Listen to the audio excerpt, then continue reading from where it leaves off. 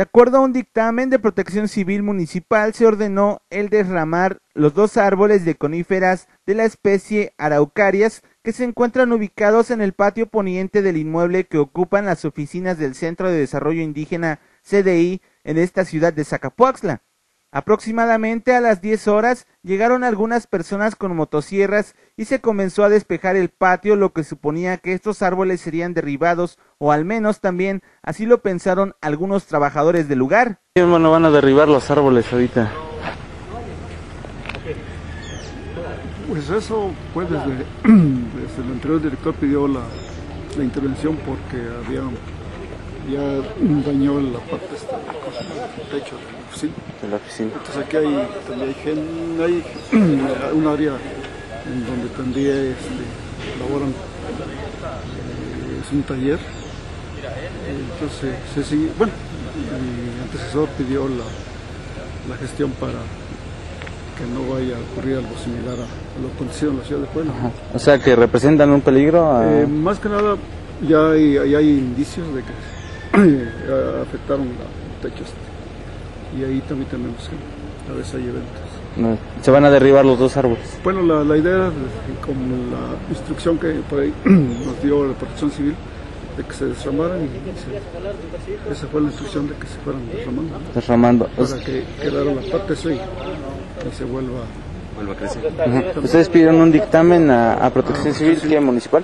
Municipal. Municipal. ¿Y qué les dijo Protección Civil Pues Municipal? lo dio por escrito eh, de, de que lo que se tenía que hacer. Eh, la, la recomendación de Protección Civil era Eh, derramar. quitar este, la parte esta de, ¿cómo se llama? De la que será promedio de 5 o 6 metros para que no implique un riesgo de, de los vecinos. Ahorita vemos que se, que se van a se van a derribar. Uno de estos árboles estaba siendo asegurado con riatas a una camioneta, pero no se concluyó el trabajo al ser cuestionado el responsable de este centro sobre si estaba de acuerdo en que fueran cortados. De hecho, la, la- la instrucción es de que, que se derrame para que siga, ¿cómo se llama? La, el árbol. El, árbol. Sí, de hecho, esto es...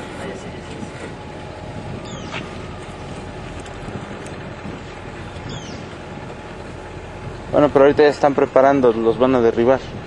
Pues que yo sé, eh, bueno, eh, no le han dado el- en la parte de abajo. Digo, para que se derrumbe ahora sí. Sí, sí, sí. Entonces, ya, si, si ustedes observan aquí ya se derramó.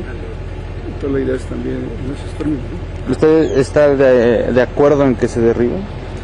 No, porque son parte ya de, ahora sí, de la, del área y precisamente por eso pedimos la opinión. más que nada por la seguridad pues de, de los vecinos que están acá y tienen gente allí, tienen un taller, entonces, este, y precisamente por eso se pidió la, la opinión. Entonces únicamente se van a derramar De, de, de hecho, este, esa es la, la- sí. la instrucción. Pero, pero vemos ya ahorita ya tienen ahí la motosierra, ya este ataron algunas cuerdas, ya están alistando el área, eh, se van a derribar. Porque de hecho así, así se ha hecho, si, aquí ya se derramó y se jalaron con, con una soga precisamente para ir, para evitar que caigan sobre la teja.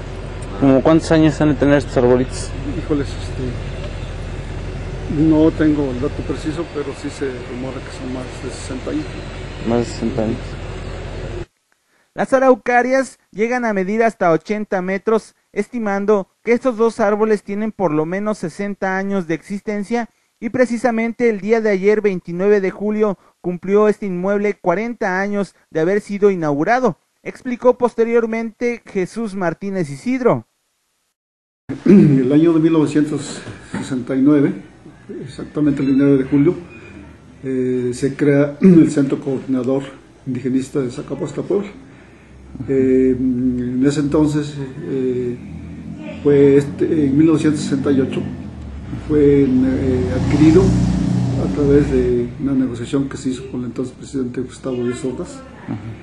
Y a raíz de, de su autorización, eh, se instala pues en el- lo que es el centro coordinador. Eh, el primer director fue Carlos Inchauste, un antropólogo que, que dio inicio a las actividades aquí en la Sierra Norte. En ese momento, eh, obviamente se establece esta unidad operativa con un cuerpo de unidades técnicas. De hecho, estaba programado, pero eh, por cuestiones, este, ahora sí, un tanto de reducciones que hemos estado sufriendo, se estuvo negociando y hasta el momento sí se va a llevar a cabo otras actividades, pero relacionadas con, con otros eventos que tenemos programado, a nivel del Estado. Y esto quedó pendiente. En realidad, sí, esto ya lo veníamos negociando desde hace algún tiempo. Afortunadamente, pues en este momento no, no estuvo la, la autorización correspondiente. Sin embargo, este, se le está dando atención a otros eventos que va a ser a nivel estatal. Muy bien. No, la cuestión fue, eh, eh, así, medidas preventivas, tomando como antecedente en los últimos este, ponderadores climatológicos que fue de la presencia del DIN. Eh, sí hubo una rama de, estos árboles se cayó sobre cerca de, de, una sala de juntas. Afortunadamente no había nadie y, sí afectó la parte del techo.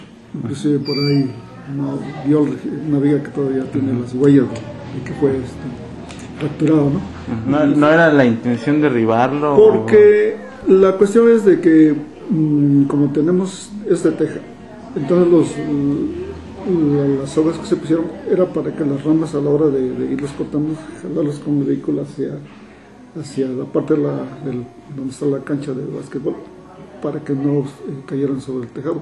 Y este, sobre todo, eh, ya la experiencia nos demostró pues que una rama de esas, este, cuando causa daño. y sobre todo ya nos afectó la, el, mueble. Entonces, ahorita la, la indicación es cada rama que vayan tomando y, y con cierto peso, este, hay que atarlos y cuando ya eh, se prevé que se puede jalar, se jala y de esa manera... No serán derribados entonces. No, de hecho la intención es que, que sigan porque forman parte ya del, del, patrimonio. Pues de todo lo que aquí fue en su inicio la, la, acción indigenista, sobre todo a nivel del Estado, porque es el primer centro que se crea este, aquí en el Estado de Puebla. Y obviamente este, entonces representa ya parte de, del proceso de la lo que ha sido la política indigenista en, en la entidad poblana. Para SBC Noticias, José Rosas Cano.